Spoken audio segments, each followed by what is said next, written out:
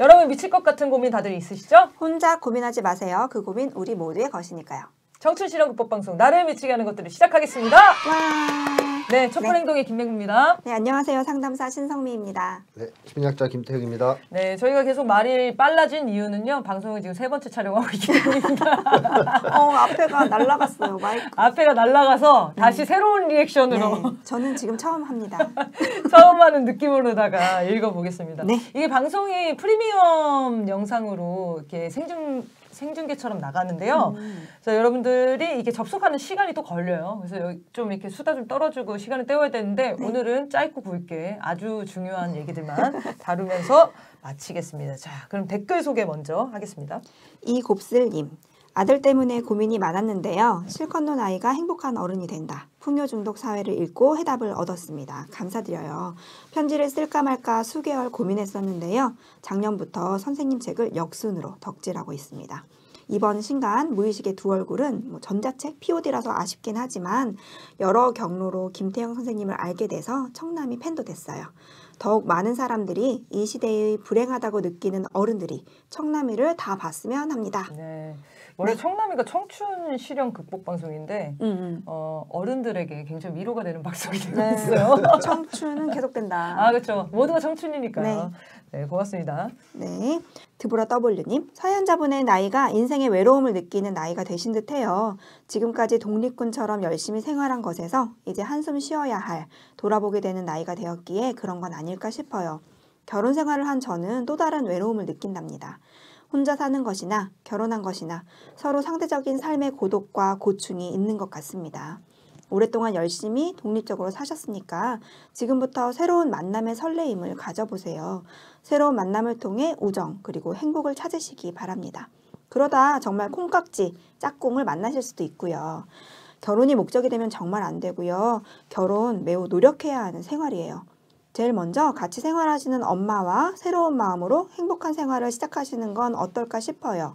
열심히 생활하신 분이시기 때문에 씩씩하게 다시 시작하실 것 같습니다. 네. 행복하세요. 네, 정말 정성 어리게 그 댓글을 달아주셨어요. 이게 유튜브에서 상에서 댓글 다는 게 이렇게 음. 길게 달기가 쉽지가 않아요. 어. 뭐 불편하기도 하고. 근데 진심으로 응원과 격려 이거를 해주고 싶어 하셨던 것 같습니다. 너무 감사하고요. 앞으로 이런 사연 보내주시는 분들 얘기 들으시고 응원하고 싶으시면 이렇게 댓글 많이 맞아, 달아주시면 맞아. 좋겠어요. 이게 되게 큰 힐링이 되잖아요. 네, 네. 서로 힘이 되는 방송이 되면 음. 좋겠어요. 고맙습니다. 네. 네, 그러면 사연 소개하겠습니다. 안녕하세요. 저는 화병을 앓고 있는 대한민국 국민입니다. 지난 대선 윤석열이 당선된 그 시기에 15년 키워온 저의 사랑하는 반려견 꿀단지가 만성 신부전이라는 병에 걸린 것을 알게 되었습니다. 불치병이라는 것은 알고 있었지만 최대한 병의 진행을 늦춰주려고 약도 먹이고 운동도 하면서 지내던 도중에 어느 날인가부터 가끔씩 제가 말을 더듬고 있다는 것을 알게 되었습니다.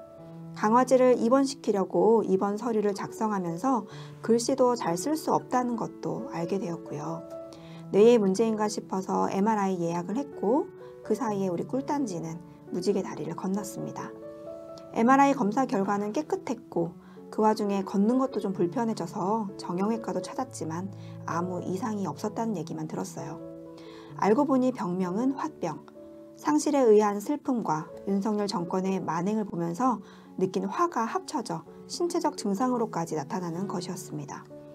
지금도 아직 치료 중인데 상실에 의한 슬픔도 슬픔이지만 윤 정권의 온갖 만행 때문에 생기는 화는 쉬이 사겨지지 않네요. 심리상담 치료 권유도 받았지만 대학 다닐 때 만약 계속 공부를 했다면 철학을 통한 심리치료에 대해 연구하고 싶었던 만큼 스스로의 치유 능력을 믿는 면이 있고 심리 상담해주는 사람이 나보다 똑똑해야 할 텐데 하는 의심으로 믿음이 없던 차에 청남이를 보게 되었고 김태형 소장님 같은 분은 드물다고 생각되어 이렇게 사연을 써보았습니다. 화병을 앓고 있는 대한민국 국민들 요즘 많으실 것 같은데 저처럼 신체적 증상이 있으신 분들도 계신가요? 뉴스를 보지 않고 살 수도 없고 화병도 빨리 나았으면 좋겠는데 어떻게 하면 좋을까요? 네. 라고 보내주셨어요. 네, 이 화병이 이제 네. 우리나라에서 발생한 병인 거죠? 이런 병이 음. 실제 있습니다. 여러분. 이게 음. 지금 이제 DSM이라고 해서 음. 미국에서 만든 거긴 한데 정신 건강 열람 체계예요. 근데 지금 5까지 나왔는데 5에선 삭제되긴 했어요. 네. 음. 4에 화병이라고 정확히 화병이라고 써 있어요. 근데 음. 거기에 한국인들이 경, 겪는 병. 문화증후군으로 나옵니다. 네, 문화증후군으로. 그 나라의 어떤 특별한 병 그렇죠. 네. 사회 문화적인 영향을 받는 음. 증상이라는 거죠. 그러니까 한국적인 병이라는 얘기죠. 음. 화병이 뭔지는 이제 이따가 좀 네. 듣고요. 일단 증상 진짜 네. 실제로 이렇게 증상이 일어날 수 있는 거죠? 네, 그러니까는 음. 여러분들도 지금 요새 이런 증상 느끼신다면 윤 정권 때문에 내가 화병 음. 에 걸렸나 이런 생각해 보실 수 있을 것 같아요. 이제 이 글쓴이 분은 말 더듬고 글씨 잘 안 써지고 걸음걸이가 불편해졌다 이런 증상 겪으셨는데 가슴이 답답하거나 뛰쳐나가고 싶은 거, 치밀어 오르는 거, 눈물, 진땀이 나고 뭐 후회스럽고 비관적이게 되고 목이나 이런 가슴에 덩어리가 막 있는 꽉 막힌 느낌, 불면증 그리고 정서적으로는 분노, 억울함, 분함, 슬픔, 우울 그리고 신체에 계속 열이 있는 것 같은 거 그런 네. 느낌 있죠? 그리고 한숨이 자꾸 나오고 말뭐 이유 없이 긴장되고 꿈을 너무 자주 꿔서 깨거나 그리고 뭐 심한 경우에 수치감 같은 것도 그러니까 나에게 어. 어떤 이유 내가 좀 망가지는 느낌들이 드는 거예요 화병 때문에 음. 그리고 어 밖으로 보이는 증상들은 불안한 거 그리고 어 심혈관계에 이런 문제 생기는 거 그리고 음. 강박적 사고를 겪을 수도 있고 허무감이나 피해 의식 그리고 깜짝깜짝 놀라는 거 눈이 침침해지는 것도 이런 화병 증상일 수 있대요. 네. 그리고 이제 교수님처럼 사지가 마비된 것 같은 느낌 아, 같은 거, 저리는 거. 심각하면. 네, 이런 증상들을 보일 수 있다고 해요. 음. 앞에 얘기하신 현상은 지금 국민들이 앓고 있는 현상이 네, 우리가 지금 뉴스 볼 때마다 욕하세요, 여러분. 그럴 때는 아, 이거 빼내세요. 토요, 토요일 날 나와서 네. 말하시는 분들이 다 이 얘기를 해요. 야, 아. 내가 잠을 못 자. 아이고, 너무 답답해. 한숨만 네. 남아. 막 이런 얘기들을 진짜 많이 하시거든요. 그 대부분 지금 화병 을 앓고 있- 어, 있다. 그럴만 하죠. 어, 네. 라고 봐야겠네요. 네, 근데 이분은 이제 화병의 원인으로 윤석열의 만행과 음. 그리고 또 상실의 어, 경험. 어, 상실의 경험. 네. 이거 이거 먼저 얘기해 보면 좋겠는데요. 그러니까 반려동물을 음. 잃어 잃는다는 상실감이 네. 어, 당연히 이제 사람이 돌아가셔도 이제 그런 증상 겪잖아요. 음, 이 이건 자연스럽게 이해가 되는 현상 같아요, 그죠? 그렇죠. 그렇죠. 어, 이런 경우 요새는 최근엔 더 많겠죠. 반려동물 잃고 나서. 네, 요새는 음. 펜로스 증후군이라 그래서 음, 음. 아예 그거를 다루는 심리 치료 음. 집단들도 많이 운영되고 있고 요새 많이들 음, 하고 있는 것 같아요. 가족같이 네. 지내다 보니까 화병에 대해서 선생님이 좀 설명을 해주시죠.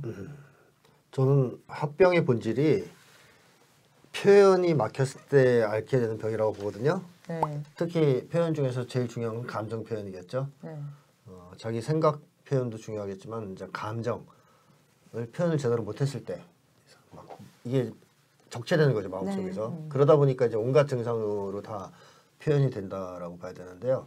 전통적으로 한국 문화에서 화병을 앓았던 사람들은 이제 며느리들이에요. 원인이 시집살이라고 연구에 있어요. 아 영구의 시집살이가 시집- 원인이에요? 시집살이. 네. 그러니까 시집살이 조건이라는 것이 네. 이 며느리가 표현을 못하는 거잖아요. 그렇죠. 구- 구박을 좀 해도. 저 시어머니 사랑합니다. 네. 네, 아니, 그러니까 이제 나쁜 시어머니들이 네. 막 구박하고 그래도 또 이제 막 어머니한테 덤빌 수가 없잖아요. 본건적인 어떤 음. 위계 질서 상에서 그렇지. 그러니까 참는단 도리를 말이에요. 다 하려고. 음. 네, 끙끙끙 참다 보니까 이제 막 그 가슴에 불덩이 같은 게 막 들어앉는 것 같기도 하고. 가슴이 치고. 음. 네, 그런 이제 데서 많이 나타났고 화병 연구를 보면 대체로 이제 저학력자, 그다음에 취약계층, 음. 그다음에 여성, 음. 그다음에 그것도 이제 뭐그 가정주부, 네. 뭐 이런 사람들, 그러니까 쉽게 하면 네. 사회적으로 약- 약자, 약자. 가불 병정 뭐 예, 이런 게 그래서 들어가 약자 쪽에 네. 있는 사람들이 주로 알아요. 아. 이 앓는 사람들이. 그러니까 이 사람들이 약자였을 때 문제되는 것은 표현을 마음껏 못한다는 게 있을 수 있잖아요.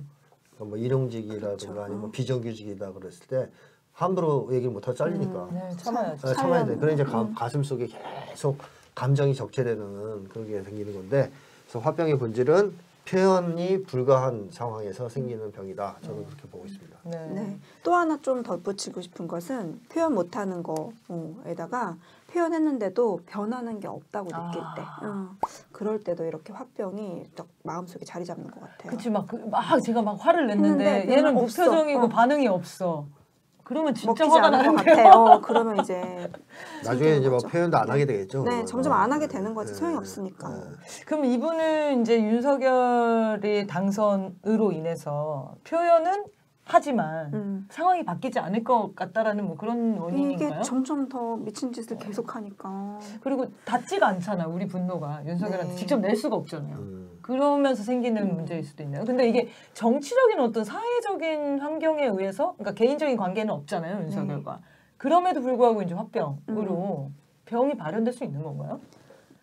있더라고요. 그러니까 저도 이제 좀 찾아봤는데 되게 재밌는 걸 봤어요. 어떤 연구, 화병과 관련된 연구에서 봤는데, 그러니까 우리나라에서는 그전 이제 여성의 병 그리고 이제 그 이후에는 사회 경제적인 문제로 뭐 어, 뭐 억울한 음. 뭐 재판을 당하거나 음. 뭐 가난해지거나 배신당하거나 이런 것 때문에 화병이 생겼다고 하는데 되게 재밌는 게 뭐였냐면 네이버에 화병을 검색해서 기사를 음. 검색해 본 거예요 그 연구가 네.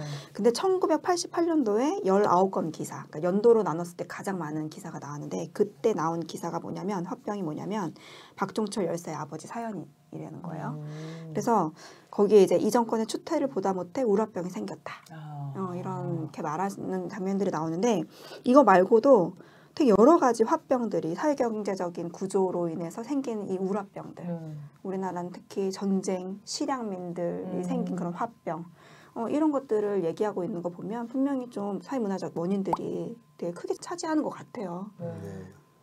네. 예전에 그 영화 같은데 보면 어머님들이 맨날 흰 머리. 흰색 띠하고 아이고 이렇게 하면서 머리 감고 그게 화병인 거죠? 네. 뭐 큰 병은 아니시지만 항상 앓고 계시잖아요. 음. 화병으로 죽기도 하잖아요. 어, 그러니까요. 네, 죽기도 해요. 어. 음, 이게 참 이 의학적으로 한국인이 앓는 병으로 음. 되어 있다는 게 그게 왜 그러냐면 음. 제가 이번에 쓴 책에서도 좀 다뤘거든요. 네. 민족 심리에서 음, 한국 사람들이 표현을 굉장히 많이 하는 민족이에요. 음, 특히 감정 표현이 굉장히 솔직한 사람들이에요. 원래는 흥도 많고 그렇죠. 네. 우리 한국 사람들이 감정 표현을 억제하고 잘 안 하는 것처럼 오해하는데 그렇지가 않고 이제 문화 비교 심리학자 이런 사람들이 막 여러 나라 비교해 보면 네. 제일 감정 표현이 막 원활한 사람들이에요. 어. 감정 표현이 많아요. 음. 오히려 일본 서양 사람들이 안 합니다. 어, 잘. 그렇죠. 일본은 네. 유명하죠 음. 감정 표현 안 네. 네, 서양보다 훨씬 더 많이 하는 거 우리가. 우리 한국 문화 자체가 감정 표현을 굉장히 많이 하는 어, 문화고 또 거기에 관대한 문화입니다. 음. 한국 사람들은 감정 표현에 굉장히 관대해요. 음. 그 예를 들면 일본만 해도 장례식장에서 통곡하는 일이 없어요. 음. 막, 아, 막 땅을 치고 울고 이런 거 없어요. 네. 민폐라고 생각해서 잘 안 하거든요. 아. 그 그런 걸 하면 굉장히 뭐랄까 바람직하지 않은 것처럼 봐요. 근데 한국에서 그거 뭐라고 아무도 안 하거든요. 네. 그렇죠. 음. 그러니까 굉장히 격렬하게 막 통곡을 하고 막 이래도 한국에서는 아무도 뭐라 안 해요. 음. 그러니까 감정 표현에 그만큼 관대하다는 얘기죠. 그래서 한국 사람들이 이렇게 감정 표현을 활발하게 하는 사람들이라면 감정 표현을 못 하게 됐을 때 병은 당연히 생기지 않겠냐는 거예요. 음. 이게 네. 훨씬 그러네. 큰 어. 스트레스로 그렇죠. 일본 사람들은 원래 안 하니까 되는데, 어. 원래 안 하니까 음. 덜해도 화병 같은 게 생기지 않는데 한국은 원래 그걸 음, 잘하는 문화인데 못하니까 병이 생기다. 그게 문화 증후인 그렇겠네요. 거죠. 어, 그래서 그렇겠네요. 어. 그래서 그것이 이제 화병이 이제 한국적 병이라고 이제 하는 이유 중에 하나고요. 그 다음에 이 감정이 적체되지 않게 하려면 결국 계속 표현을 해야 되는데 제일 좋은 표현은 윤석열한테 가서 하는 거잖아요. 그렇죠. 어, 화가 난 거를 그냥 표현할 수 있다면. 앞에 할수 음. 있다면 음. 그게 제일 화를 표출하기엔 좋긴 하잖아요. 음. 그건 안 되는 거고 현 상황에서 네. 그러면 뭐 윤석열 패배에 나올 때 윤석열 얼굴을 보고 대통령 얼굴을 보고 화를 낸다. 그것도 뭐 좋겠지만 그다지 큰 효과는 아, 없어요. 안 풀리죠. 저희 엄마 어. 계속 욕해. 어. 그 다음에 이제 좀 SNS 같이 욕하는 음. 거. 그것도 음. 조금 풀리긴 하지만 그다지 큰 효과는 음. 없어요. 맞아요. 그럼 뭐가 제일 큰 효과가 있냐? 토요일에 촛불 나오는 거. 그렇죠. 3초 발사 이럴 때. 뜻을 같이 하는 사람들과 대화하는 거. 아, 대화하는 거. 그게 제일 화 해소, 감정 해소에 도움이 돼요. 화가 난 대상이랑 얘기하는 게 중요한 게 아니고 그 대상을 씹으면서 같이 친한 공감을 얻으면서 어, 나랑 치- 어, 뜻을 같이 하는 사람 혹은 친밀한 관계에 있는 사람들과 대화하는 거. 네. 예를 들면 저도 밖에서 스트레스 받는 일 있으면 집에 와서 애들하고 얘기하고 애들 얘기하는 그렇죠, 네. 그렇죠. 아 야 오늘 아빠가 지하철 잘못 타가지고 뭐 이러면 애들이 공감해주면 화가 풀리거든요. 음. 근데 집에 갔는데 아무도 없어, 걔밖에 없어. 그러면 이제 화가 안 풀려요. 음. 그럼 똑같은 거죠. 음. 그러니까 이제 우리가 이런 화를 계속 잘 풀어야 되는데 감정 표현을 자꾸 해야 되는데 그러려면 좋은 관계가 있어야 돼요. 주변에 계속 믿고 말할 수 있는 믿고 관계. 그렇죠. 음. 공감해 줄 수 있고 이해해 줄수 네. 있고 뭐 그런 좋은 관계 그런 관계 속에서 대화하는 게 제일 좋다. 음. 그래서 이분도 그런 사람들과 대화하시는 것이 제일 좋을 것 같고요. 네. 다른 분들도 그런 좋은 사람들과의 관계 속에서 대화로 일단은 이 화를 해소하는 게 좋을 것 같고 그 다음에 화병에 걸리지 않으려면 낙천적으로 살아야 되잖아요. 음. 한국 사람들이 원래 좀 낙천적인 사람들이거든요. 근데 낙천적이다라는 것은 미래를 낙관한다 막연하게 그거하고는 틀린 거예요. 음. 그러니까 내- 내가 이제 가만히 집에서 맨날 넷플릭스 보고 있다고 버티다 보면 어느 날 어느 날인가 윤석열이 물러나고 좋은 날이 오겠지. 이건 낙천이 아니에요. 그거는 뭐라고 해야 돼? 망상이라고 해야 돼? 그냥 그냥 그 버티기지. 처참함을 그 이지우 현실 도피하면서 버티는 오히려 거죠. 회피죠. 네. 네, 이러면 낙천성이 안 생겨요. 우울하죠. 그래서 낙천성은 뭐냐면 나의 노력과 실천으로 그날을 앞당길 수 있다고 믿을 때 생기거든요. 이게 이제 낙천성의 특징이란 말이에요. 나의 힘으로 그날을 앞당기는데 기여할 수 있다. 나의 내가 그걸 앞당길 수 있다 나한테 그런 힘이 있다. 근데 개인이 그런 힘이 어디 있습니까? 없죠. 없어요. 오직 사람들과 힘을 합쳐서 집단이 돼서 싸울 때만 그걸 낙관할 수 있는 거 아니에요? 땡겨올 수 네. 있다고 그날을. 네. 그렇기 때문에 윤석열 정권 퇴진이나 타도를 위해서 싸우는 사람들과 힘을 합쳐서 하나가 돼서 실천을 부단하게 할 때, 그럴 때 이제 낙천성이 생기고 화병에 안 걸릴 수가 있어요. 네. 그러니까 이제 아 이제 언젠가 끌어내릴 수 있어. 내가 그날을 앞당기고 있어. 이- 오늘 열심히 해서 어, 3시간 땡겼어. 음. 이런 식으로 생각해야 아우, 너무 가치 그치. 있어요. 예, 낙천성이 생기거든요. 음. 그럴 때 이제 화병도 좀 어느 정도 예방이 되는데 내가 아무리 노력해도 상황을 바꿀 수가 없다고 생각하거나 아니면 뭐 나한테는 그런 힘이 없어서 기다리는 수밖에 없다고 생각하면 이 화병에서 벗어날 수가 없어요. 네. 그래서 내가 실천하고 노력하고 또 우리가 실천하고 노력하면 상황을 능히 더 좋게 만들 수 있다. 시간을 앞당길 수 있다. 이런 확신이 있어야 화병도 예방할 수 있습니다. 네.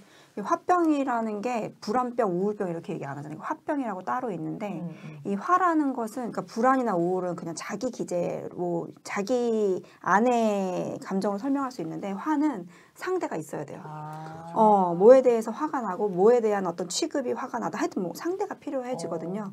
그러니까 이거 그럴수록 사회적으로 풀어야 되고 그래서 어, 이 사회적 그이 화병을 맨 처음 치료하는 시작점이 아 이게 사회적인 이유로 생긴 것이다라는 걸 음. 인식하는 것 자체가 도움이 된대요. 오, 그러네요. 그래서 같은 사람들끼리 잘 만나면 어, 아, 너 그런 증상 있어? 아, 내가 그게 화병이었구나. 그게 윤석열 때문에 화나는 거구나. 이걸 아는 것만으로도 치료 시작이 된다고 하니까 같은 사람들끼리 만나서 얘기하는 거, 공감하고 연대하는 거, 행동하는 거 되게 중요한 어. 치료 방법일 것 같고 그러니까 서로 보듬어주고 해야죠. 어. 음. 제가 얼마 전에 이런 얘기를 들었는데 사람은 내가 당한 것들을 잃을 수 있는 상태. 알려주는 네, 음. 이, 아, 잃는 거. 이른다. 어렸을 때 고- 엄마한테 고- 엄마? 어? 아, 잃을 누가, 사람. 어, 어. 누가 나한테 이렇게 해서 그러니까 그거를 속으로 삭히는 것보다는 얘기하고 공감 음. 받아야 되는 게 필요하다는 거예요. 어, 그런 거 없으면 필수적으로. 미치죠.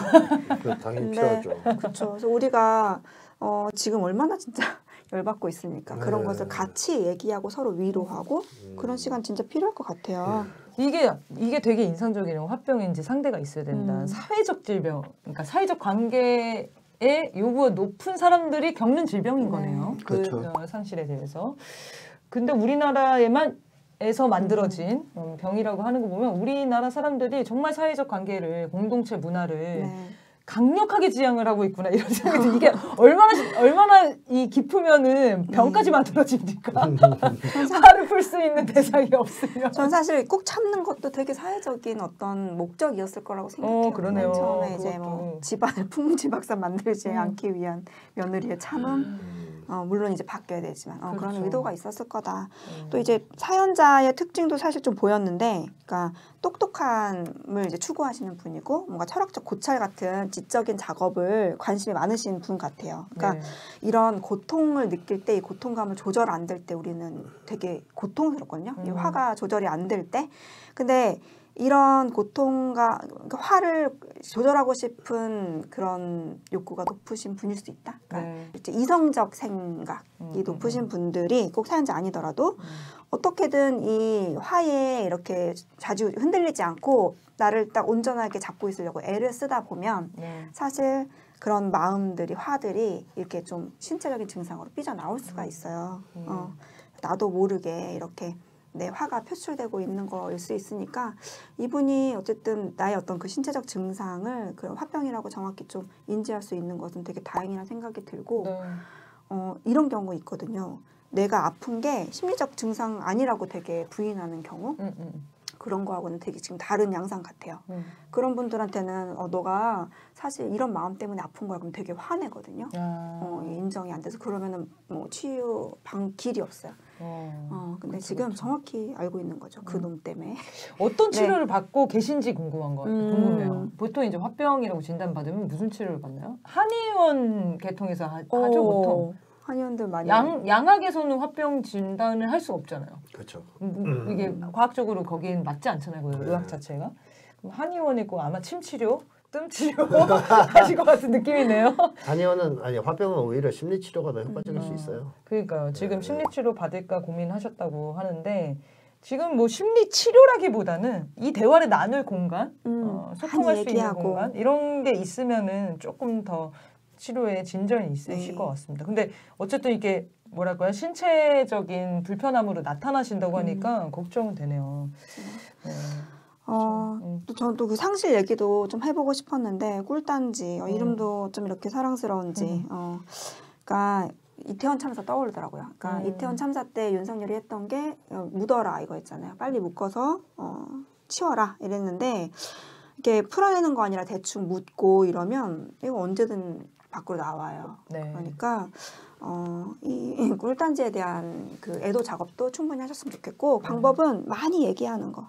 꿀단지가 얼마나 예뻤는지, 나한테 어떤 사랑을 줬는지, 내가 집에 들어가면 그 애가 어땠는지, 뭐 이런 것들 많이 얘기하셔가지고 그 애도 작업도 충분히 하시면 좋겠다 이런 생각이 듭니다. 좋습니다. 이런 거를 꼭 만나 만나서만은 답은 아닌 것 같으면 뭐 SNS에 올릴 수도 음. 있고요. 이런 상실의 아픔을 이겨내는 네. 방법이. 저도 종종 이제 할아버지 할머니 돌아가시고 나서 생각날 때마다 그 이야기들을 쓰거든요. 음. 페이스북에. 그러면 이제 공감해 주시는 분들이 있잖아요. 너무 좋은 분이셨다라든지 그런 것들이 되게 좋은 작업인 것 같아요. 감정을 정리할 수 있는. 한 가지 마지막으로 질문을 하려고 하는데 네. 얼마 전에 최근에 윤석열 닮았다고 지인을 폭행한 사건이 있었습니다. 심정은 이해가 어, 가는데 다 댓글이 이거 아 너무 안타까운 사건인데 심정이 너무 이해가 간다는 거예요. 근데 아, 친구예요 친구. 어. 이 모르는 사람을 때린 게 아니고 자, 같이 친구랑 술 먹다가 너 이- 윤석열 너무 닮았잖아 하면서 때렸다는 거예요. 어. 음. 이런 거는 어떻게 이해하나요? 아, 다들 심정은 너무 이해가 된다면서 얘기를 하셨는데. 약간 우스갯소리로 음. 아 윤석열 닮아서 때렸다고 하면은 참작 될 것 같아서 아 국민적인 어, 공감을 얻을 수 있어요. 어, 그럴 수 있지라고 말할 것 같아서 근데 그 맞은 사람은 좀 그렇지 않나? 엄청 어, 그렇지. 어쨌든 때린 건 잘못했지 같 아니 그냥 맞은 것도 억울한데 닮아서 어, 윤석열을 어, 두 닮았다고 번- 해서. 맞았으면 두 번의 어. 폭행이네 음. 그러니까 이게 이- 정말 사람을 치고 싶은 심정은 지금 음. 온 국민의 심정이긴 하거든요. 네. 이 실행까지 옮기는 네. 거는 어떻게 봐야 되나요? 그 순간에 뭐 술의 기운이든 음, 네. 뭐술 이제, 술을 먹긴 했죠. 어, 뭐 정신적인 문제가 아니라면 술 때문이었다고 봐야 네. 되겠죠. 그럼 이 정도면 화병으로 봐야 되는 거 아니에요? 아이 뭐 어떤 의미를 부여하기에는 때렸기 때문에 어떻게 병으로, 해줄 병, 수가 병으로 없네요 뭐 진단하기보다는 아, 네. 그러니까 그만큼 지금 윤석열 이 국민들을 음. 어, 화나게. 만들고 있다. 네. 그래서 막 음. 약간만 촉발 요인이 있으면 폭발하기 음, 일보 직전이다 그렇지. 이렇게 봐야 되겠고 네. 우리가 지금 오늘 이거 막 떠든 얘기도 사실 윤석열 물러가기 전까지는 완전 해결은 안 되잖아요. 그러네요. 어, 날이면 날마다 우리를 화나게 맞아. 하니까 음. 잘 아, 관리하는 수밖에 없어요. 네. 아니 인천 현대시장 방화 사건 뭐 이런 것들 약간 뭐, 뭐랄까요 우발적이고 네. 즉흥적인 범죄들 이런 것들이 많이 일어나는 거예요. 이 사람은 방화범이던데 보니까요. 어, 전 방화를 여러 번 한 사람인가요? 네, 아, 제가, 그래요? 제가 기사를 찾아봤는데 이걸 음. 올리셨길래 방화벽이 있으신 분이네 2006년부터 12년간 24차례 방화를 시도했고 우와. 4차례 재판을 받았고 총 10년 수감 생활을 한 방화범입니다. 아. 네. 전문 방화범. 어, 근데 이 이분 근데 요번에 뭐 이, 이유를 즉흥적인 게? 아니네요. 네.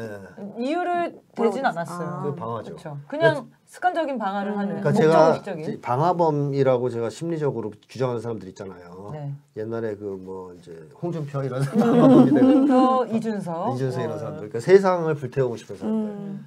그러니까 이 사람들은 어떤 대상이 미워서 불을 지르는 게 아니고 음. 불을 지를 수 있는 대상을 찾는 거예요. 음. 자 마음속에 이 불덩이 때문에 화가 너무 많이 나 있어가지고 음. 자기 문제죠. 음. 방화범의 심리를 가진 사람들인데 네. 오늘날에는 이런 사람들이 너무 많은데 음. 그것을 이렇게 행동으로 불을 지르는 사람도 있고 언어적으로 방어하는 사람들도 있는 거예요. 아, 그렇죠. 다른 사람을. 향해서 계속. 그래서 사실 마음속에 불이 있는 그런 사람들인 거죠. 음. 아, 우리 국민들의 이 화병 마음속에 불을 없애려면 일단 윤석열이 내려오고 내려와서만 끝나는 것 같진 않아요. 그렇죠. 내려왔는데 다시 엉망인 사이가 되면은 그렇죠. 두 배의 화병이 되는 거죠. 네, 더 좋은 네. 세상이 되고 윤석열은 정, 응당한 처벌을 받고 음. 그래야 되겠죠. 그거는 이제 전제인 것 같습니다. 윤석열이 처벌받고 퇴진되는 것은. 네.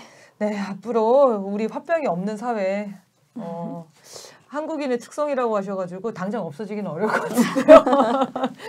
네, 어쨌든 이 한국인들이 정말 사회적 관계를 중요시 여기고 감정 표현을 솔직하게 하는 걸 좋아하고 이거가 억압되지 않는 사회를 만들어 준다면 이 병들은 다 사라질 거라고 봅니다. 그렇죠. 네. 네, 지금 아마 전국에 많은 분들이 화병을 앓고 계실 텐데요. 일단 촛불에 나오시면은 조금 숨 쉴 수 있게 되시는 것 같아요.